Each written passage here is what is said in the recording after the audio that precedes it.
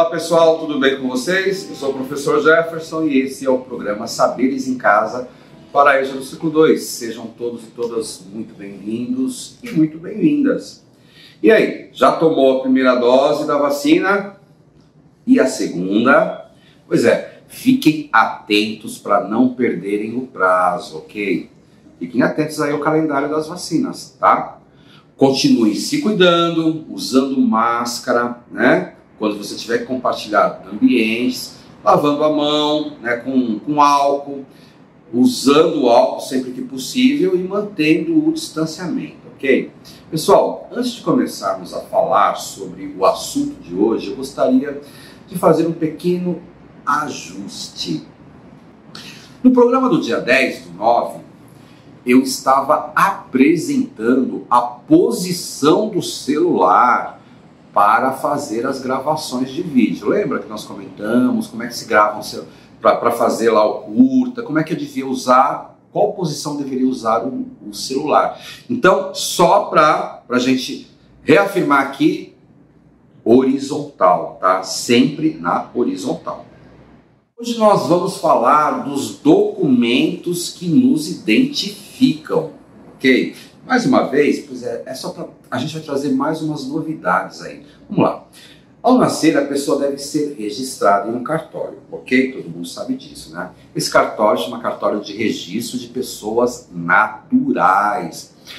Antigamente, por falta de conhecimento ou até mesmo pela distância, né, que existia do local em que a pessoa nascia e onde havia um cartório, levavam-se dias, às vezes meses, até anos, para que se pudesse registrar o nascimento, né? Agora, desse registro, desse documento, surgiu a certidão de nascimento, documento que você conhece, não? Este é o nosso primeiro documento de identificação, ok? Os principais dados, os dados que estão na certidão de nascimento, são o nome da pessoa, o nome dos seus pais, né? Os pais dessa pessoa e também de seus avós, ok? Tem também a data e a hora de nascimento, né? Tem também o local de nascimento, está identificado lá nesse documento. Você pode até pegar o seu aí para dar uma conferida, ok? Observem aqui agora este documento de identificação. Não, melhor aqui. Isso, aqui, aqui fica bom. A certidão de nascimento, ela é obrigatória. Verdade, isso mesmo. Como percebemos, a certidão de nascimento é um documento importantíssimo, né? Que todos nós devemos possuir. Isso é muito importante. É o documento mãe, eu diria. Agora vejam, quando ele passou a ser obrigatório, né? Isso já faz muito tempo. Você sabe mais ou menos quando foi? 25 de abril de 1874. 1874, ó. Tinha saiu um decreto na época, né? É, o mais interessante, aí o que eu espero que, que você perceba, eu vou ler esse decreto para você. O mais interessante são algumas palavras, né? O jeito que se falava na época, né? É um vocabulário assim mais rebuscado, entendeu? Afinal, essa época ainda era a época do império, do imperador. Preste atenção aí que eu vou ler para você. Decreto número 5604 de 25 de abril de 1874. Manda observar o regulamento desta data para a execução do artigo 2 da Lei 1829, de 9 de setembro de 1870, na parte em que estabelece o registro civil dos nascimentos, casamentos e óbitos. E por bem mandar que, para a execução do artigo 2 da Lei 1829, de 9 de setembro de 1870, na parte que estabelece o registro civil dos nascimentos, casamentos e óbitos, se observe o regulamento com este baixa assinado pelo doutor João Alfredo Correia de Oliveira, do meu conselho, ministro e secretário de Estado dos Negócios do Império, que assim o tenha entendido e faça executar. Palácio do Rio de Janeiro, em 25 de abril de 1874, 53 da independência e do império. O registro pode ser feito apenas por um dos pais se forem casados, ok? Devendo apresentar a certidão de casamento. Então, se são casados, um deles pode fazer o registro. Agora, se não forem casados, né, no papel, os dois deverão comparecer no cartório. Olha que interessante. Para que os seus nomes, os dois que não são casados no papel, constem como pai, pais da, da, da criança, pai e mãe da criança, né? Mas, por exemplo, é possível ir um só, desde que leve uma declaração de reconhecimento. Tá vendo? Declaração de reconhecimento de paternidade, né? Isso pelo pai, né? Ou anuência para a efetivação do registro pela mãe, ou seja, anuência porque a mãe permitiu, né? Mas com firma registrada, né? Assinatura reconhecida em cartório. Nesses casos, ok? Eu acho que deu para você entender, né? Os documentos necessários para o registro são os documentos pessoais. O RG, né? O RG é o nosso documento pessoal. E a declaração de nascido vivo, DNV, Declaração de Nascido Vivo, que é um documento emitido lá na maternidade pelo médico responsável. Você sabia disso? Isso é uma prova de que a criança realmente nasceu sã e salva. Fique atento, hein?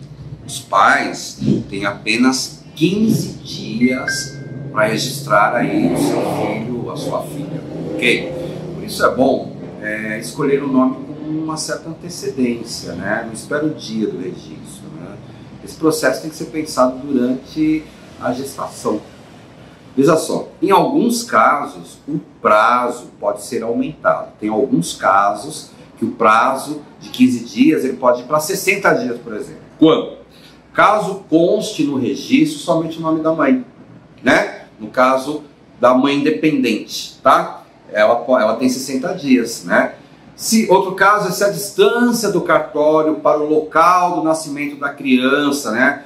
Se, se é uma distância maior, né, ou da casa onde a criança nasceu, se for muito maior do que 30 quilômetros, você tem até três meses para fazer esse registro, tá vendo? Isso é importante saber, né? O registro, a, a primeira certidão de nascimento, né, é o registro. É um serviço gratuito, ok? Isso é grátis, você não paga para fazer isso. Mas, falando de nome, escolha bem o nome, né? O cartório ele pode até recusar a registrar a criança com um nome, assim, que possa expor essa criança, né? Que esse nome, no futuro, pode expor essa criança ao ridículo, né? Então a gente tem que colocar um nome bem bacana, né? Cuidado, afinal, quem pode passar vergonha é a criança, né? Bom, então vamos lá. Em São Paulo, é, alguns hospitais eles já possuem pessoas no cartório. Você sabia disso? Já lá no hospital mesmo, né? É, tem pessoas do cartório de registro que ficam lá de prontidão, né? Isso é muito interessante porque a mãe deu à luz e já dá para fazer o processo de registro, né? Em muitos casos, as crianças elas saem do hospital já com a certidão de nascimento. Olha que legal isso, não precisa nem no cartório, né? Ou até, até mesmo com protocolo para retirar a certidão no cartório. Dá entrada no protocolo lá no hospital mesmo e depois vai lá no cartório buscar a certidão. Um pouquinho mais sobre o RG, né? O RG ou o registro geral ele serve para identificar a pessoa, garantindo a ela a individualidade para diversos atos. Ok? O RG só você pode ter o seu, né? Na emissão é feita a identificação datiloscópica, ou seja, coletada as digitais de todos os dedos da pessoa, né? Todos os dedinhos, tá? Você já deve ter feito isso quando foi lá no Poupa Tempo, por exemplo, né? Tirar a segunda via do RG, enfim, né? Tirar o RG, né? A pessoa pediu para você colocar os dedos, estão lembrados disso, né? Todos eles numa máquina que escaneou aqui as suas digitais, ou né, para os mais antigos, não é o meu caso, tá? Né, colocou o dedo nos carimbos, né? Lá e depois carimbava lá a digital, né? Quem é mais antiguinho vai lembrar disso. Detalhe, a emissão do RG ela é feita por cada unidade da federação. Aqui em São Paulo, a emissão é a cargo da Secretaria de Segurança. Né? Então, quem é autorizado a emitir o RG é a Secretaria de Segurança Pública, ok? Os números do RG, eles variam de acordo com a população de cada estado, tá? Então, por exemplo, em São Paulo, os números são bem maiores que de outros estados, ok? Né? Com a população menor, né? Se a pessoa ainda for solteira, né, quando ela for tirar o RG, o documento necessário para requerer o registro geral, o RG, é a certidão de nascimento. Nós falamos agora há pouco, tá? Se a pessoa for casada, não tem RG, precisa tirar o RG, né? Se for casada, separada judicialmente, divorciada, ou até viúva, né? o documento a ser apresentado para poder emitir aí o RG é a certidão de casamento. Né? Olha que interessante, já não é mais a de nascimento, é a de casamento. Os principais dados do RG, o que está lá no RG? Né? Você pode até pegar o seu aí para conferir, ok? O que, que nós temos lá no RG? Nome da pessoa, o nome dos pais, né, que nós chamamos de filiação, a data de nascimento, desta pessoa, o órgão expedidor, aí no caso aqui em São Paulo, Secretaria de Segurança Pública, a assinatura do titular, né, a, sua assinatura, a minha assinatura, né, o número do registro geral e a data de expedição. Olha lá, que interessante. E agora, a data da validade. A RG tem um período também de validade, você sabia disso? Lá consta também o cartório que você foi registrado. Olha que bacana, né? O livro e a página aonde está o seu registro de nascimento. Tudo isso está no seu RG, né? Pode conter também o número do CPF, do título de eleitor, da carteira de trabalho, do PIS e de outros documentos aí do titular, né? Quando eu falo titular, eu estou falando do dono, você, eu, né? De quem é o RG? Então você é o titular. CPF, como a gente tinha falado antes, lembra o que era? Cadastro de pessoa física. Isso quer dizer CPF. É um documento emitido pela Receita Federal, vamos lembrar disso. Quem emite documento é a Receita Federal. E ele serve para quê? Para identificar os contribuintes, né? quem paga imposto para o governo. Lembra desse leãozinho? Quando você faz o seu CPF, você recebe 11 números, né? Que você vai usar para o resto da sua vida.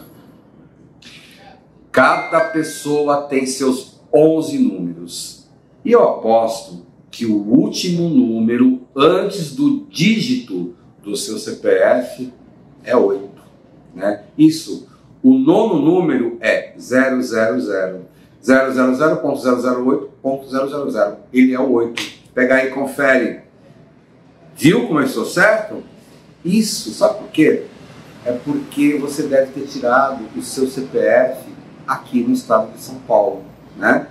Por isso tem essa sequência de numeração aí. Olha que interessante. Todos os CPFs emitidos em São Paulo terminam com o número 8, antes dos dígitos identificadores. Sabe que eu nunca tinha prestado atenção nisso? Mas é verdade. Além de identificar os contribuintes do imposto de renda, você vai precisar desse CPF aí para trabalhar com registro em carteira, por exemplo. Né? Quando forem registrar sua carteira, também precisa ter aí o número do CPF. Né? Quando você for prestar concurso público, né? quando você for abrir conta em banco, lembra que a gente falou disso? Quando você for fazer compras aí, for pagar, for parcelar, quando você for pedir um cartão de crédito, ou seja, CPF para muita coisa, né? Como esse documento é importante. E olha, não tem idade mínima para pedir o seu CPF não, tá? Que pode ser pelo site da Receita Federal, você pode pedir o seu CPF pelo site da Receita Federal ou até nas agências da Caixa, né? Do Banco do Brasil ou também dos Correios, tá? Fica a dica aí, ok? Bom, falamos bastante sobre documentos, agora nós vamos para o momento da atividade. Muito bem, observe seu RG, que é a carteira de identidade, como nós já falamos, e localize os seguintes dados. Pega lá o seu RG, veja qual é a data de emissão que ele tem, tá? Interessante isso, presta atenção. Qual é o órgão expedidor do seu RG? Aqui em São Paulo é Secretaria de Segurança Pública, né? Né? O documento que, que originou o RG. Está escrito lá no seu RG. Foi a certidão de casamento? Foi a certidão de nascimento? Em qual cartório está registrado esse documento? Tudo isso aí é uma análise que você vai fazer do seu próprio RG. E aí você pode registrar no seu caderno, tá? E se possível, colocar uma cópia aí desse registro seu, né? Para encaminhar para gente. Tudo bem? Bom, mas você lembra que em algum programa lá atrás nós falamos de autorretrato, né? Num dos nossos programas bem anteriores, né? Autorretrato, até recebi alguns, compartilhei com vocês, né? Pois é, essa também é uma proposta para você. Você consegue fazer uma cópia do desenho lá daquela foto do RG, né? Você aproveita, olha lá, pega uma folha de sulfite, ó, uma folha de sulfite, certo? Então faz de conta que você vai fazer um RG grande, né? Você vai ampliar esse RG. Mas o foco aí é a foto. Então, olha lá a foto e tenta copiar. As pessoas falam assim, nossa, foto de RG é horrível, né? Eu também, a gente, a gente não, não fica legal, a gente fica muito sério, né? Pois é, mas não tem problema não. Vamos fazer um, um, um autorretrato dessa foto, tá? Então pega aquela foto lá, você olha lá, copia e compartilha com a gente nesse e-mail aqui, ó, que tá aparecendo em cima de mim, ok? Compartilhe com a gente porque eu quero trazer aí o seu autorretrato do seu RG para mostrar aqui nos nossos próximos programas, ok? Pois é, pessoal, vamos ficando por aqui. Eu agradeço a sua presença até aqui. Um grande abraço para vocês e até lá.